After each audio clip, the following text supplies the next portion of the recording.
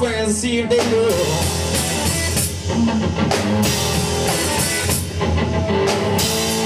Read it in the newspaper. Ask your girlfriend, see if they know.